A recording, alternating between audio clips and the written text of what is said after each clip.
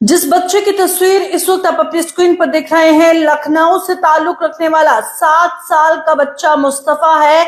और हाल ही में जो लखनऊ में इमारत गिरने का मामला सामने आया, उसमें इस बच्चे ने अपनी माँ को खो दिया, अपनी दादी को खो दिया, पर खुद की जान बचाई। एक कार्टून शो के कैरेक्टर की बात सुन के। आपको बता दें कि ये बच्चा अक्सर डोरेमान कार्टून देखता था, जिसमें नोबिता ने बताया था कि जब अर्थ को आए या ऐसा कुछ हो तो आप बेड के नीचे चले जाए, आपकी ज़िंदगी बच जाएगी। और उसी तरह से अब इमारत गिरने लगी तो इस बच्चे ने उसी बात को याद किया और अपनी जान बचाई। ये सात साल का मुस्तफ़ा जिसका फ़िलहाल अस्पताल में इलाज चल रहा है, पर इसकी ज़िंदगी सेव है। और हम अक्सर कहते हैं कि बच्चे कार्टून देखने से बिगड़ जाते हैं, पर जब वो अच्छी बातें सीखते हैं तो कहीं ना कहीं वो काम भी आ जाती हैं। और फ़िलहाल इसी अपडेट के साथ लूँगी, इजाज़त दिखते रहे जितनी